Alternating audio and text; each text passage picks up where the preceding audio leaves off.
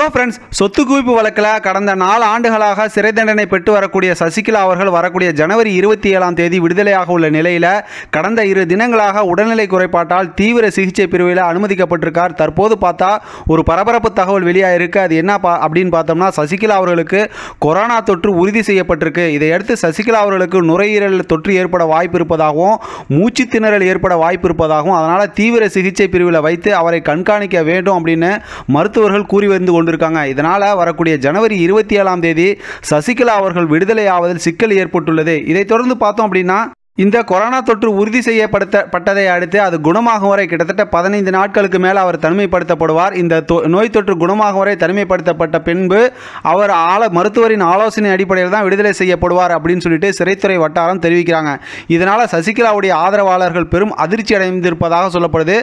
சசிகலா அவர்களுடைய சகோதரன் திவாகரன் அவர்கள் வந்து இந்த நிலைக்கு இந்த அந்த மாதிரி ஒரு சூழ்நிலை சசிகலா அவர்களுக்கு ஏற்படுவதற்கு முழுக்க முழுக்க சிறைத்துறை தான் காரணம் அப்படின்னு சொல்லி குறை கூறுவதோட இதில் மிகப்பெரிய சந்தேகம் இருப்பதாகவும் அவர் தொடர்ந்து சொல்லிக்கொண்டே இருக்காங்க.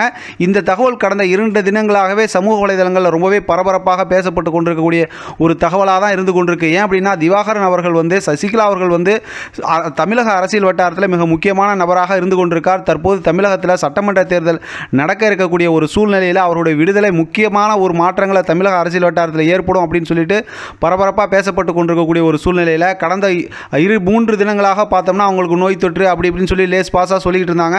தற்போது பார்த்தா அவங்க சேரில் அதாவது வீல் சேரில் வச்சு கூட்டிகிட்டு போகிற மாதிரியும் அதே போல் ஐசியூ வார்டில் வச்சு அவங்களுக்கு மருத்துவம் பார்க்கக்கூடிய ஒரு சூழ்நிலை ஏற்பட்டிருப்பதை பார்க்கும்போது மிகப்பெரிய ஒரு சந்தேகம் ஏற்பட்டிருப்பதாக சசிகலாவுடைய சகோதரர் திவாகரன் அவர்கள் வந்து தெரிவிச்சிருக்காங்க. ஏன் அப்படின்னா கடந்த பத்து நாட்களுக்கு மேலாக சசிகலா அவர்கள் வந்து உடல்நிலை குறைபாடு அதாவது சரியில்லாமல் இருந்திருக்காங்க. இந்த அப்படி இருக்கக்கூடிய ஒரு சூழ்நிலையில் சசிகலா அவர்களுக்கு முறையான சிகிச்சை சிறைத்துறை ஏன் கொடுக்கல? இப்படிப்பட்ட ஒரு சீரியஸான கண்டிஷனுக்கு போகிற வரைக்கும் எப்படி பார்த்துக்கிட்டு இருந்தாங்க? அப்படிங்கிற மாதிரி சரமாரி தன்னுடைய தங்களுடைய கேள்வியை முன்வைக்கிறாங்க இந்த நிலையில் தற்போது வெளிவந்துள்ள பெங்களூர் விக்டோரியா மருத்துவமனை அறிவிக்கும்படி அதாவது மருத்துவர் என்ன சொல்கிறாங்கன்னா சசிகலா அவர்கள் வந்து மருத்துவர்களால் தொடர்ந்து கண்காணிக்கப்பட்டு கொண்டிருக்காங்க சிகிச்சை அளிக்கப்பட்டு வந்து கொண்டிருக்கு.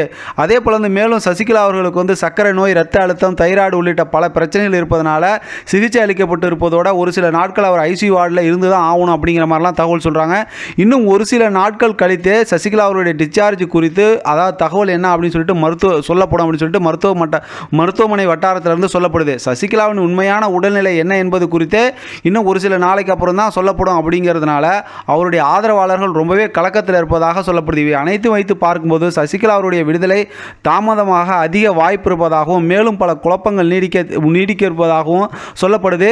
இது சசிகலாவின் ஆதரவாளர்கள் மற்றும் உறவினர்களிடத்தில் கடும் அதிர்ச்சி ஏற்படுத்தியிருப்பதாக சொல்ல அதாவது தெரியப்படுத்தப்படுது. இது வந்து தமிழக வட்டார அரசியல் வட்டாரத்தில் பெரும் பரபரப்பு தகவலாகவும் பார்க்கப்படுதுங்க. காரணம் என்ன அப்படின்னு பார்த்தா சசிகலா அவர்கள் வந்து இருபத்தி ஏழாம் தேதி ஜனவரி இருபத்தி ஏழாம் தேதி விடுதலை ஆவாங்க. அன்றைய தினம்தான் மறைந்த முன்னாள் முதலமைச்சர் ஜெயலலிதா அவர்களுடைய நினைவிடம் திறந்து வைக்கப்படும் அப்படிங்கிற பல பரபரப்பு தகவல் தமிழ்நாட்டில் இருந்து கொண்டிருக்கக்கூடிய சூழ்நிலையில் திடீர்னு சசிகலா அவர்களுக்கு உடல்நிலை பாதிக்கப்பட்டுச்சு. கொஞ்சம் லேஸ் பாஸாக ஆஸ்பத்திரியில் வச்சாங்க. அப்படி இப்படின்னாங்க. இப்போ பார்த்தா ஐசியூ வார்டில் இருக்காங்க. நோய் தொற்று அப்படிங்கிறாங்க. அவங்களுடைய அதாவது உடல்நிலை குறித்து தகவலே இன்னும் மூன்றா மூன்று நாளைக்கு அப்புறம் தான் தெரிவிக்கப்படும் அப்படின்னு சொல்லி சொல்கிறது மருத்துவர் வட்டாரத்திலிருந்து சொல்லக்கூடிய விஷயங்கள் பார்த்தா பெரிய ஒரு பரபரப்பாக ஏற்பட்டிருக்கு. இதுக்கிடையில் பார்த்தோம்னா அவங்கள வந்து அதாவது வந்து கேரளாவில் இருக்கக்கூடிய மருத்துவமனை அல்லது வந்து புதுச்சேரியில் இருக்கக்கூடிய மருத்துவமனையில் வந்து வச்சு தான் அவங்களுக்கு சிகிச்சை பார்க்கணும். பெரிய சந்தேகத்துக்குரிய விஷயமா இருக்குது அப்படின்னு வேற மனு அதாவது உயர்நீதிமன்றத்தில் மனு கொடுக்கப்பட்டிருக்கு. இதெல்லாம் வைத்து பார்க்கும்போது சசிகலா அவருடைய இந்த சூழ்நிலை அதாவது அவங்களுடைய விடுதலை இதெல்லாம் வந்து தாமதமாக வாய்ப்பு இருப்பதும் மற்றும் அரசியல் வட்டாரத்தில் பரபரப்பு தகவலை ஏற்படுத்துவதற்கும் எந்த ஒரு மாற்று கருத்தும் இல்லை அப்படின்னு சொல்லப்படுது. ஓகே ஃப்ரெண்ட்ஸ் இந்த தகவல் சார்ந்து உங்களுடைய மேலான அபிப்பிராயங்கள் கருத்துக்களை மறக்காம கமெண்ட் பாக்ஸில் பதிவு பண்ணுங்கள் மேலும் இது போல புதிய தகவலை தெரிஞ்சு நம்ம சேனலை தொடர்ந்து லைக் பண்ணுங்க ஷேர் பண்ணுங்க சப்ஸ்கிரைப் பண்ணுங்க. கூடவே மறக்காமல் பெல் பட்டனை கிளிக் பண்ணுங்க. Thank you friends thank you viewers